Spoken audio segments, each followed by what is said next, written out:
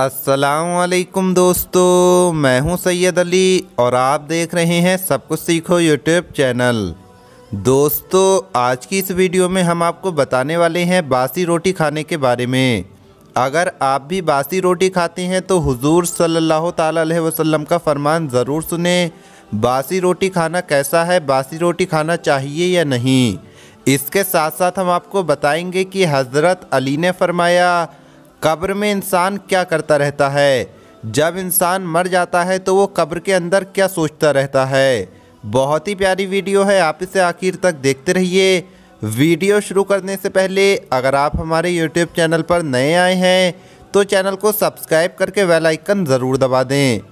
तो चलिए वीडियो शुरू करते हैं। दोस्तों, सबसे पहले हम आपको बताते हैं कि हज़रत अली ने फरमाया, कब्र में इंसान क्या करता रहता है। एक मरतबा हज़रत अली की खिदमत में एक शख्स आया और दस्ते अदब को जोड़कर कहने लगा, या अली, कब्र में इंसान क्या करता रहता है? तो हज़रत अली ने फरमाया ए शख्स, मरने के बाद कब्र में इंसान इंतज़ार करता रहता है और उस इंतज़ार के साथ पछतावा उसका मुकद्दर बन जाता है। उस शख्स ने पूछा, या अली, वो कौन सी चीज़ें हैं जिस पर इंसान बार बार पछताता रहता है?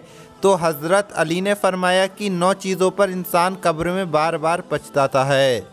पहली चीज़, कि काश मैं ज़िंदगी में तकबर नहीं करता घमन नहीं करता, अपने आप को मट्टी का समझता। दूसरा, ए काश मैं अपनी आखिरी ज़िंदगी के लिए कुछ कर लेता। तीसरा, ए काश मेरा आमाल नामा मुझे पढ़कर नहीं सुनाया जाता। चौथा, ए काश मैं दुनिया में बुरे दोस्तों से बचता फुला फुला शख्स की सोबत में ना बैठता। पांचवा ए काश मैंने अल्लाह और उसके रसूल की फर्मा बरदारी की होती। छठा ए काश मैं रसूल अल्लाह सल्लल्लाहु अलैहि वसल्लम का रास्ता अपनाता। सातवा ए काश मैं भी उनके साथ होता जो दुनिया में अच्छे अमाल करते थे दर से अखलाक लोगों को देते थे। आठवा ए काश मैंने अपने अल्लाह के साथ किसी को शरीक ना किया होता।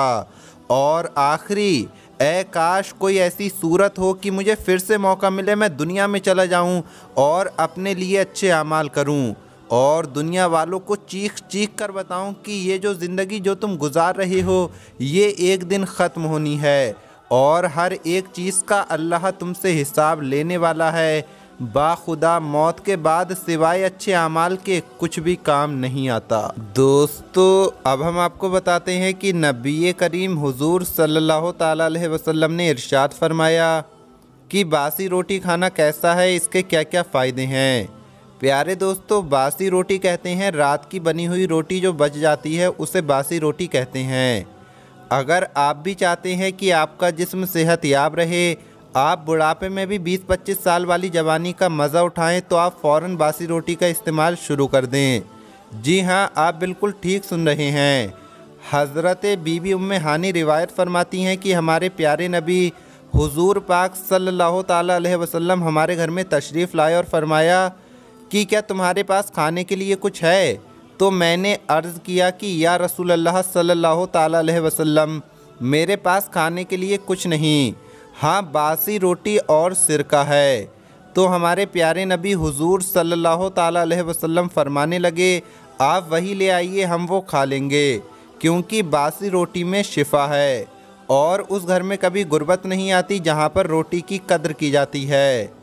एक मरतबा नबी करीम हुजूर सल्लल्लाहु अलैहि वसल्लम ने अपने प्यारे सहाबी हज़रत अबूज़र गफ़ारी को कुछ नसीहतें फरमाईं और एक नसीहत ये भी फरमाई कि ए अबूज़र अपने से कमतर पर नज़र रख। अल्लाह की नेमतों का शुक्र अदा होगा।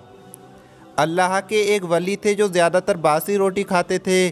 तो किसी ने पूछा कि, आप बासी रोटी क्यों खाते हैं? तो फरमाने लगे कि, रोज़ आने वाला वक्त हमें नबी करीम हुजूर सल्लल्लाहु अलैहि वसल्लम की बरकतों से दूर कर रहा है। और ये बासी रोटी मुझे नबी करीम हुजूर सल्लल्लाहु अलैहि वसल्लम से करीब करती है। और बासी रोटी मेरी जिस्मानी और रूहानी ताकत को बढ़ाती है। हज़रत इमाम अली फरमाते हैं कि मैंने नबी करीम हुजूर सल्लल्लाहु अलैहि वसल्लम से सुना, रात की बची हुई बासी रोटी पर अल्लाह का नूर बरसता है।